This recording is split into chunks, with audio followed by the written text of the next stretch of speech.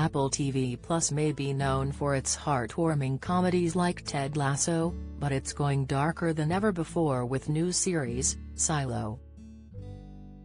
Based on the book by Hugh Howey, Silo sees a group of survivors living underground in a ruined and toxic future. To keep safe, they must stay within the silo and never attempt to exit, but those who do are forced outside to clean, where they're sure to die just minutes after being released. But are there stringent new rules protecting them as much as they think they are?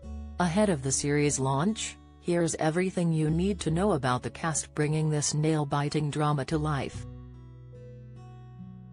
Emmerdale's Nikki Milligan's mum exposed as fans work out return who stars in Silo on Apple TV Plus question mark Jules, Rebecca Ferguson engineer Jules is recruited as the new sheriff of the Silo, but when she begins to investigate why the former sheriff and his wife volunteered to go outside, she finds herself in dangerous position.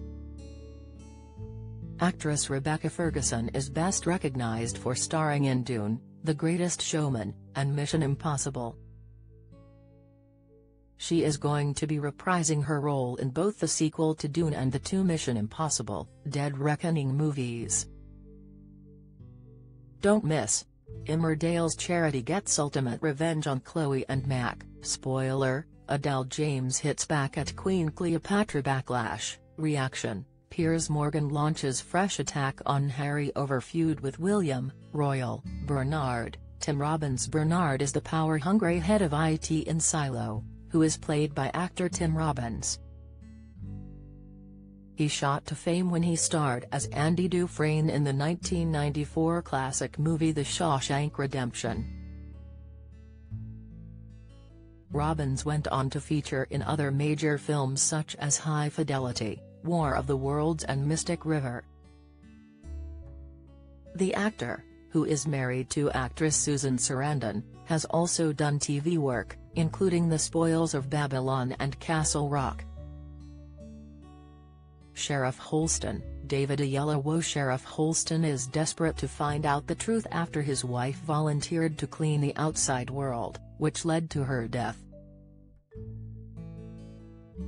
Actor David Oyelowo's career famously started off in the BBC spy series Spooks and has since been in the TV series of Les Miserables, Small Island, The Girl Before and portrayed Martin Luther King in the 2014 film Selma.